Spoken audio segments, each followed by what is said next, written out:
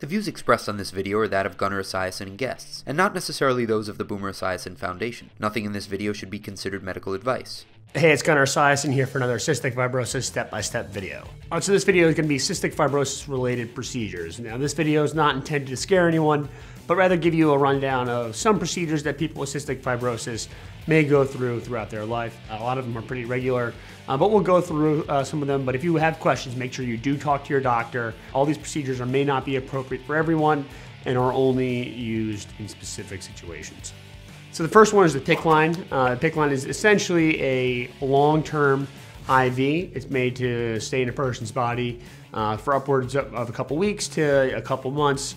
Uh, it is something that uh, is very, very common amongst people with cystic fibrosis.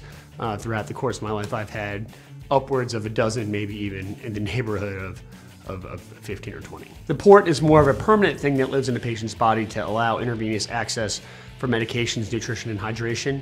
Uh, I personally do not have a port.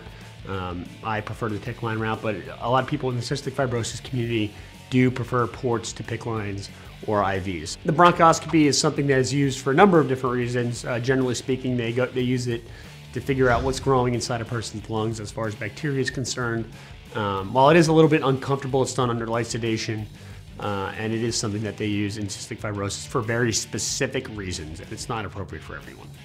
So the G-tube placement is something that I had done in 2011. Uh, it's one of the more painful procedures that we deal with in cystic fibrosis simply because uh, people with cystic fibrosis generally have a very strong core from coughing so much. So a stomach procedure is one of those things that may hurt a little bit in the aftermath, but as soon as the recovery passes, it's totally fine. Organ and tissue transplant is often the last line of treatment for people with cystic fibrosis. People who are eligible for double lung transplant or other organ transplants uh, can be referred to transplant clinics by their cystic fibrosis clinic. The views expressed on the cystic fibrosis step-by-step with Gunnar Esiason videos are that of Gunnar Esiason and guests, and not necessarily those of the Boomer Esiason Foundation.